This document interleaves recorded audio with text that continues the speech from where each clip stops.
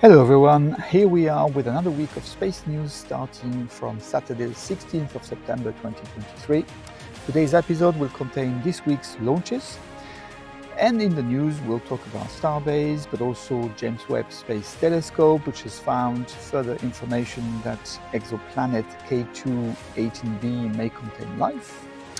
We'll also see what is happening at the ISS and discuss a discovery that may support a life in Mars.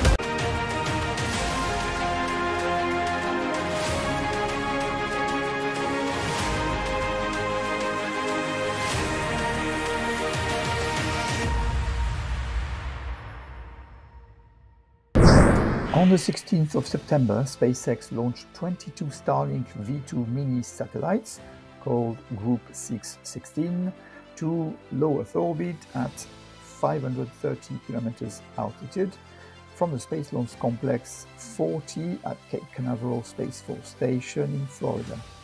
Now, the booster has landed for his fifth time on the drone ship Just Read the Instructions. This was SpaceX's 65th Falcon 9 launch of the year. This amounts to 5,113 Starlink satellite launched to date and 4,760 five Starlink satellites still on orbit. On the 17th of September, a Long March 2D was sent from the Xichang Satellite Launch Center in China by the China Aerospace Science and Technology Corporation.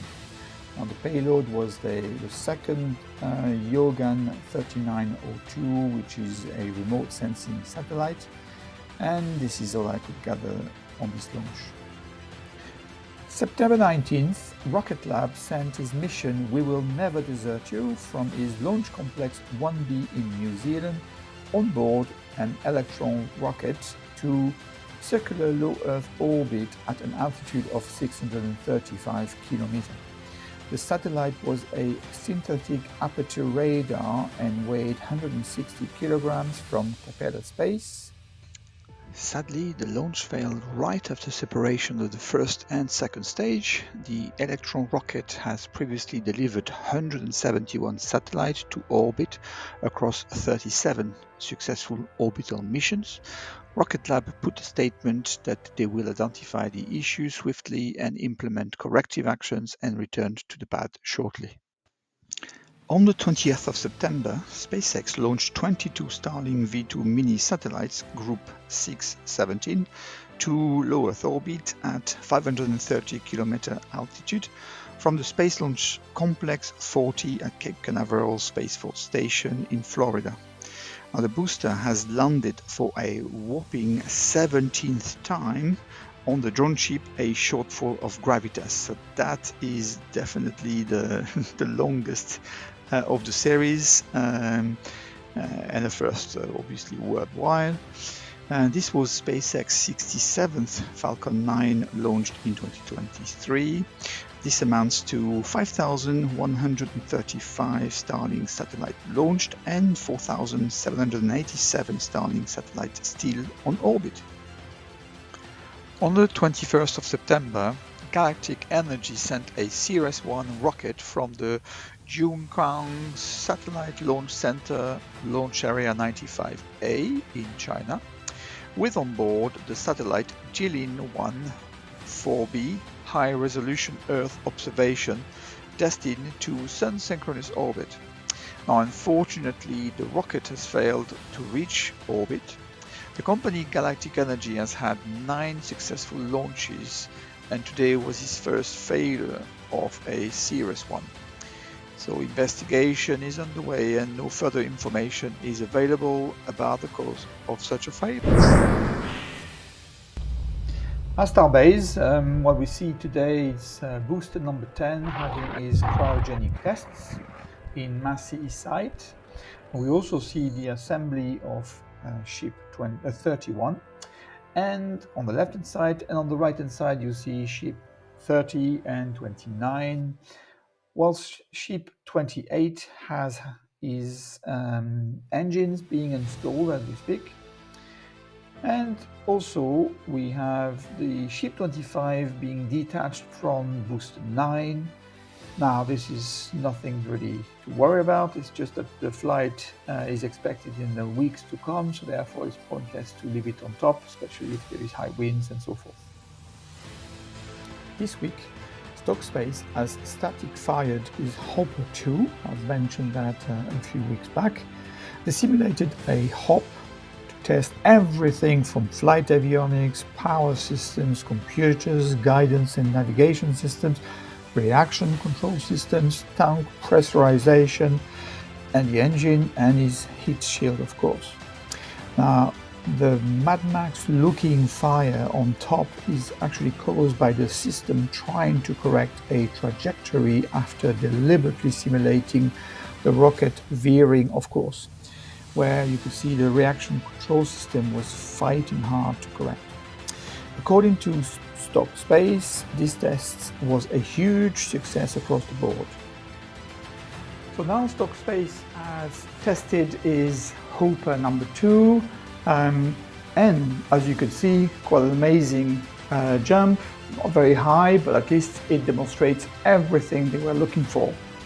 In 2015, Kepler's Space Telescope discovered K2-18, which is a red dwarf equivalent to our Sun but more red, as well as two exoplanets K2-18b and K2-18c, all being 120 light years away from Earth. Now, K2-18b is about 8.6 times the mass of Earth and rotates around his red dwarf K2-18 in 33 days, very similar to Earth around the Sun, getting a similar quantity of light as on Earth. Now, this is an ideal condition to be a potentially habitable world with the existence of liquid water. And in the last few days, NASA mentioned that the James Webb Space Telescope detected carbon dioxide and methane in the atmosphere of K2-18b. Well, Webb's Data suggests that the planet might be covered in ocean with a hydrogen-rich atmosphere. Now, the abundance of methane and carbon dioxide and also the shortage of ammonia supports the hypothesis that there may be a water ocean underneath a hydrogen-rich atmosphere in K2-18b. Now, the initial Webb observation also provided a possible detection of a molecule called dimethyl sulfide, also known in this graph as DMS. Now, on Earth, this is only produced by life. The bulk of the DMS is Earth atmosphere is emitted from phytoplankton in marine environments. No doubt, we will get more information about K2-18b in the coming months and years. Let's turn to the ISS to see what ESA is reporting this week. On his Huginn mission, ESA astronaut Andreas Mogensen exercises with the Spaceware monitor strapped um, to his chest to measure his vital health parameters, such as skin temperature and heart rate. Now, there are already plenty of uh, health monitor in use in the uh, ISS, but what sets the Spaceware monitor apart from these is the frequency and quality of the data that it measures. Along with uh, the, its long battery, they are looking at seeing how the Spaceware monitor can help astronauts in their daily life on the space station. Following on last week episodes, this week MS-24 crew arrived at the ISS.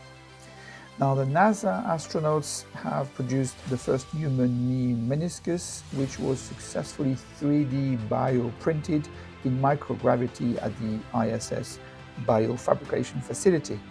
So the, the facility produced knee cartilage from bionic stem cells to help speed recovery from musculoskeletal injury.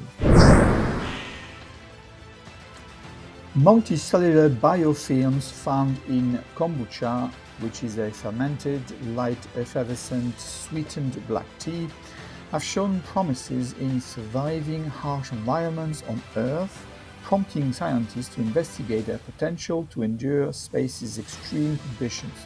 Now, the microorganisms are even being considered as biofactories for self-sustaining life support systems for space settlement. Now, ESA's exposed facilities held uh, experiments on the International Space Station to investigate if and how bacteria survive in space and in simulated Martian conditions. Now, samples flew on the outside of the space station, as you can see on the picture. Now, the results show that a microorganism, cyanobacterium, was able to repair its DNA and resume cell division even after being exposed to cosmic radiation, even resisting the destructive ion ions that cause extensive cell damage. Now, Petra Rettberg, head of uh, German Aerospace Center, DLR Astrobiology Group, in Cologne said recently that the cultures show great potential in supporting long-term human presence on the moon and on Mars. Now, Nicol Caplin, an ESA deep space exploration scientist, added due to their ability to produce oxygen and functions as biofactories, this biotechnology could significantly enhance future space mission and human space exploration efforts. I hope to see our samples attached to the Lunar Gateway in the future or perhaps utilized on the surface of the Moon and beyond. Until then, we will continue to explore the possibilities our biocultures offer. Now, this is um, this amazing discovery will, will support astronauts in their moon or base or Mars base even uh, self-sufficiencies. Picture of the week is the swirls of the galaxy IC 1776 standing in splendid isolation in this image from NASA ESA Hubble Space Telescope. This galaxy actually lies over 150 million light years from Earth in the constellation Pisces. Now thank you for watching this episode. I will bring you more space news next week and in the meantime keep learning about space. I'm Christophe Paget, your space news provider. Goodbye.